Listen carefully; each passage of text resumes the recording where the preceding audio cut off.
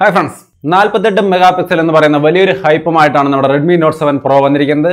ആ seven പ്രോയുടെ camera review ആണ് ഈ ക്യാമറയുടെ സ്പെസിഫിക്കേഷൻസ് നാൽപ്പത്തെട്ട് മെഗാ പിക്സൽ പ്ലസ് അഞ്ച് മെഗാ പിക്സൽ ഡുവൽ റിയർ ക്യാമറയാണ് ഫ്രണ്ടിൽ പതിമൂന്ന് മെഗാ പിക്സൽ സെൽഫി ക്യാമറയും വരുന്നു.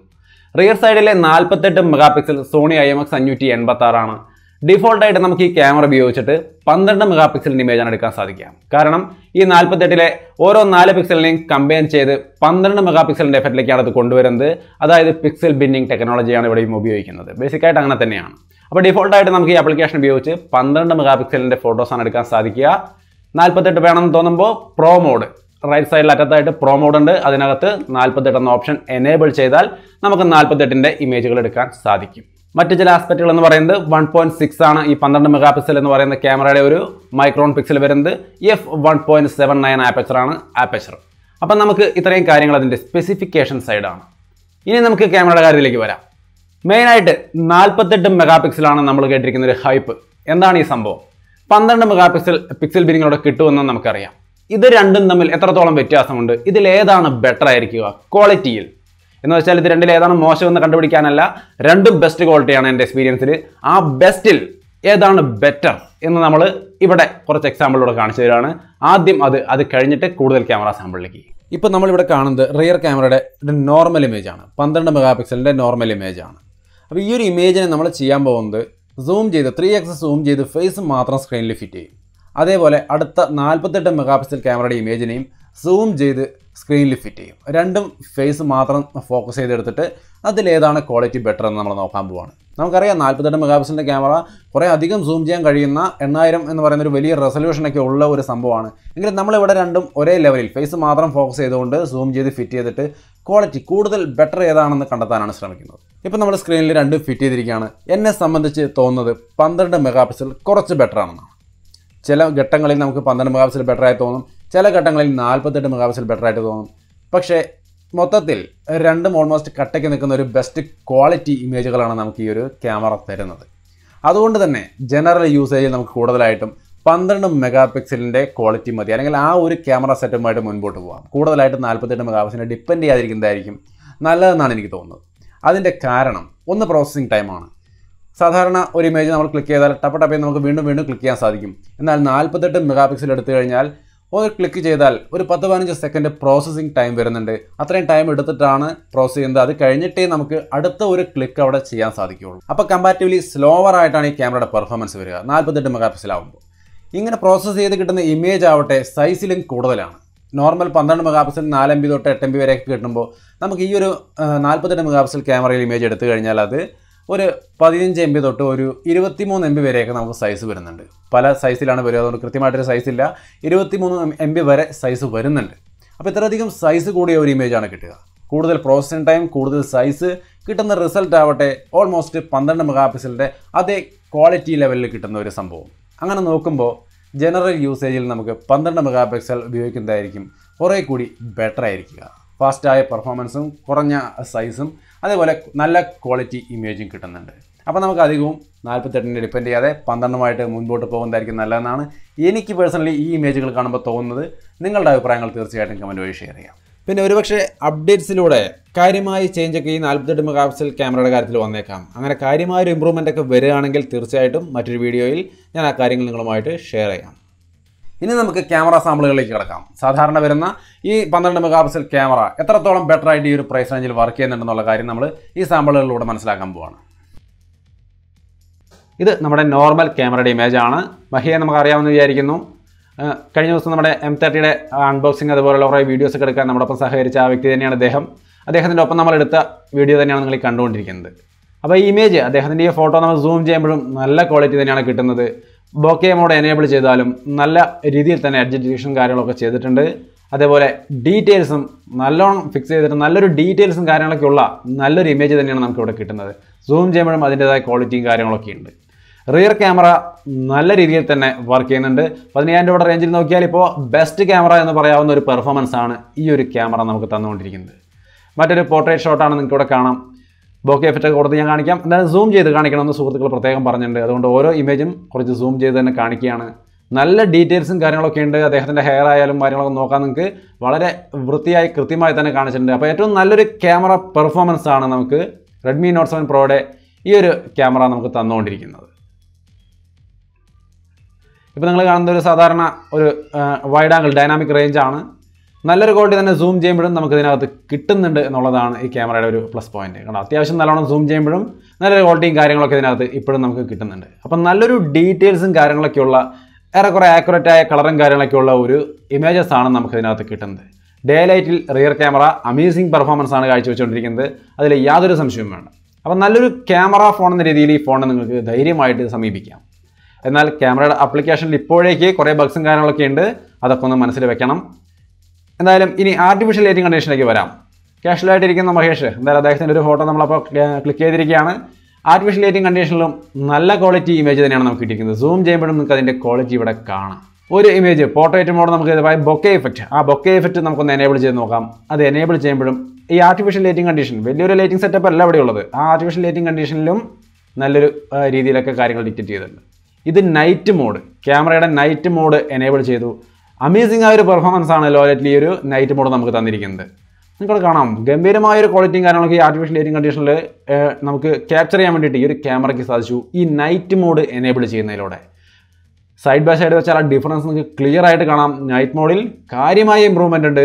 അപ്പോൾ ഈ ഫോണൊക്കെ ഉപയോഗിക്കുന്ന ആൾക്കാരുണ്ടെങ്കിൽ തീർച്ചയായിട്ടും ഈ നൈറ്റ് മോഡ് ലോ ലൈറ്റിലേക്ക് ഇമേജ് എടുക്കുമ്പോൾ നൈറ്റ് മോഡ് ഉപയോഗിച്ചാൽ ഗംഭീര ഗംഭീരമായ ഒരു അമേസിംഗ് ക്വാളിറ്റി നിങ്ങൾക്ക് കിട്ടും. ഇപ്പോൾ വീണ്ടും ഒരു ഒബ്ജക്റ്റ് ഞാൻ കാണിച്ചു തരാണ്.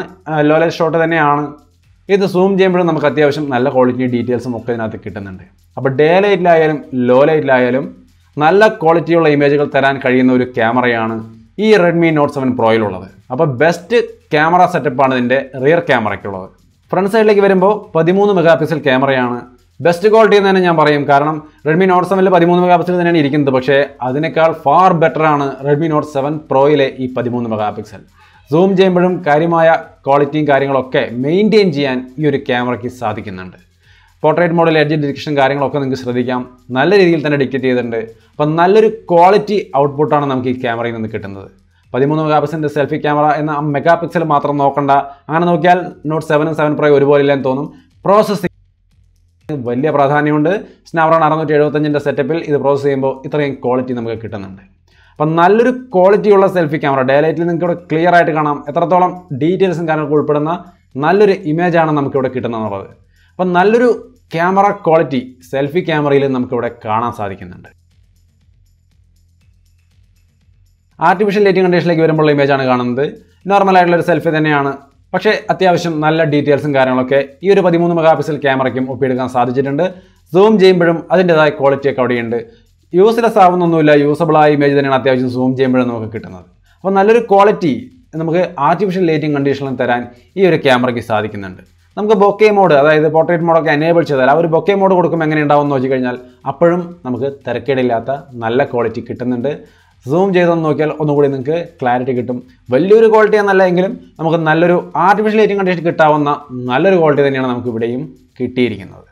അപ്പോൾ ഫ്രണ്ട് ക്യാമറയായാലും റിയർ ക്യാമറയായാലും നല്ല ക്വാളിറ്റി തന്നെയാണ് ഈ ഒരു ഫോണിലുള്ളത് ഇപ്പം നമ്മൾ കാണാൻ പോകുന്ന ഒരു സ്ലോ മോഷൻ വീഡിയോ ആണ്.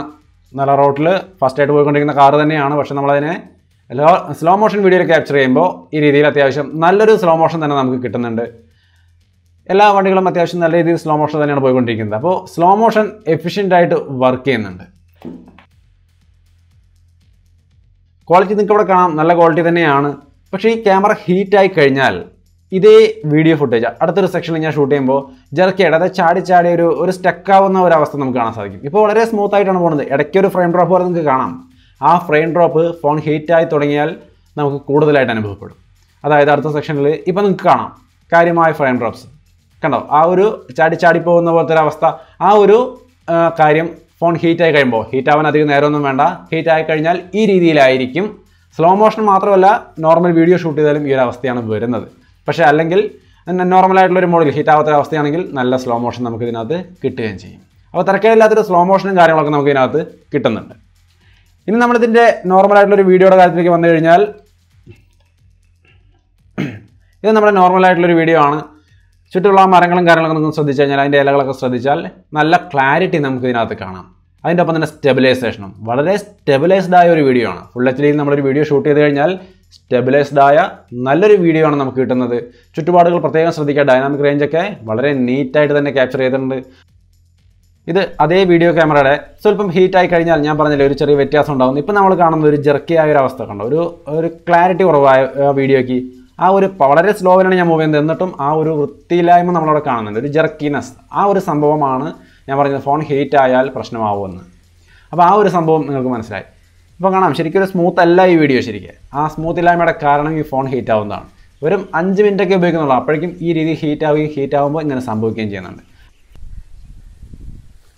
ഇതാണ് ഫ്രണ്ട് ക്യാമറയുടെ ഒരു വീഡിയോ ക്വാളിറ്റി ഇപ്പോൾ സ്റ്റെബിലൈസേഷൻ ഒക്കെ ഉണ്ടാവുന്നുള്ള കാര്യം ഒന്ന് നടക്കുകയാണ് ഞാൻ. ഇപ്പോൾ നിങ്ങൾക്ക് നോക്കുമ്പോൾ കാണാം. സ്റ്റെബിലൈസേഷൻ ഒന്നും ഇല്ലയെന്ന് തോന്നുന്നേ. നല്ലോണം ഷെയ്ക്ക് ആവണ ഒരവസ്ഥയാണ് കാണുന്നത്.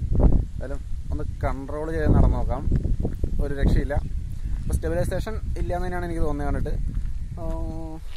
നൈസായിട്ടുണ്ടോ എന്തായാലും സ്റ്റെബിലൈസേഷന്റെ ലെവൽ നിങ്ങൾ തന്നെ കണ്ട് മനസ്സിലാക്കുക. സൗണ്ട് ക്വാളിറ്റി ഈ ഒരു സംഭവത്തിൽ നിന്ന് തന്നെ കേട്ടും മനസ്സിലാക്കുക. അപ്പോൾ ഇതാണ് ഇതിന്റെ സൗണ്ട് ക്വാളിറ്റിയും വീഡിയോ ക്വാളിറ്റിയും അപ്പോൾ തരക്കേടില്ലാത്ത നല്ലൊരു വീഡിയോ ക്വാളിറ്റി നമുക്ക് ഈ ഒരു ഫ്രണ്ട് ക്യാമറയിൽ നിന്നും കിട്ടുന്നുണ്ട്.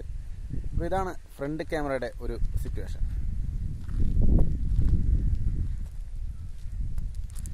അപ്പോൾ ടോട്ടലി നമ്മൾ ഈ വീഡിയോ കണ്ടു കഴിയുമ്പോൾ നമുക്ക് മനസ്സിലാവുന്നത് ക്യാമറ പെർഫോമൻസിന്റെ കാര്യത്തിൽ തീർച്ചയായിട്ടും ബെസ്റ്റ് തന്നെയാണ് ഈ ഒരു ഫോൺ അതിപ്പോൾ റിയർ ക്യാമറ ആയാലും ഫ്രണ്ട് ക്യാമറ ആയാലും രണ്ടും നല്ല ക്വാളിറ്റിയിൽ തന്നെ. അത് രണ്ട് ലൈറ്റിംഗ് കണ്ടീഷനിലും ഒരുപോലെ നന്നായിട്ട് വർക്ക് ചെയ്യുന്നുണ്ട്. അപ്പം നല്ലൊരു ക്യാമറ സെറ്റപ്പ് ഉള്ളൊരു ഫോണാണ് എന്നാൽ നമുക്ക് വന്നൊരു കൺഫ്യൂഷൻ അതായത് പ്രശ്നങ്ങൾ എന്തൊക്കെയാണ് നേരിട്ടതെന്ന് ചോദിച്ചു കഴിഞ്ഞാൽ ഈ ക്യാമറ ആപ്ലിക്കേഷൻ പലപ്പോഴും ക്രാഷ് ആവുന്നുണ്ട് ലാഗ് ആവുന്നുണ്ട്. പ്രോസസ്സിങ് നമ്മൾ നേരത്തെ പറഞ്ഞായിരുന്നു ആ ഒരു ഫോർട്ടി എയ്റ്റ് മെഗാ പിക്സലിന്റെ ഒരു ഇമേജ് എടുക്കുമ്പോൾ ഒരു പത്ത് പതിനഞ്ച് സെക്കൻഡ് സാധാരണഗതിയിൽ എടുക്കാറുണ്ട്.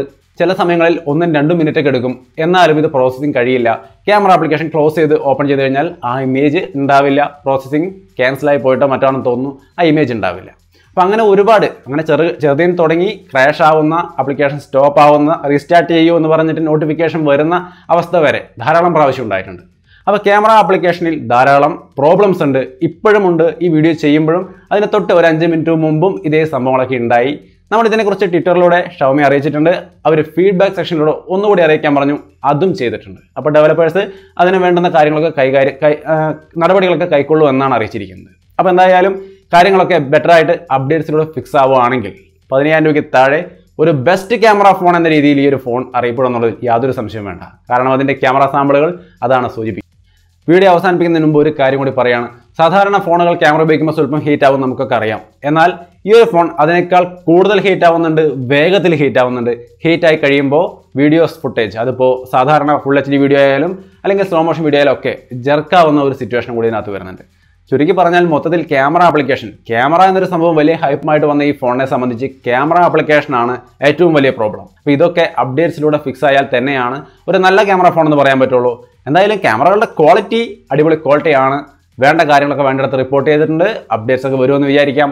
അപ്പോൾ ഇതാണ് ക്യാമറ റിവ്യൂ എന്നൊരു വീഡിയോ ഇവിടെ അവസാനിക്കുകയാണ്. നിങ്ങളുടെ അഭിപ്രായങ്ങൾ എങ്ങനെയുണ്ട് ഈ ക്യാമറയുടെ ക്വാളിറ്റി തുടങ്ങിയ കാര്യങ്ങളൊക്കെ ഒന്ന് കമന്റ് വഴി ഷെയർ ചെയ്യുക. അപ്പോൾ വീണ്ടും ഉപകാരപ്രദമായ മറ്റൊരു വീഡിയോ കണ്ടുമുട്ടാം. ചാനൽ സബ്സ്ക്രൈബ് ചെയ്തിട്ടില്ലെങ്കിൽ സുഹൃത്തുക്കളൊക്കെ ഒന്ന് സബ്സ്ക്രൈബ് ചെയ്യുക. ഒപ്പം തന്നെ ബെൽ ബട്ടനും ഒന്ന് എനേബിൾ ചെയ്ത് വെച്ച് നമ്മളെ സപ്പോർട്ട് ചെയ്യാം വീണ്ടും ഉപകാരപ്രദമായ മറ്റൊരു വീഡിയോ കണ്ടുമുട്ടാം.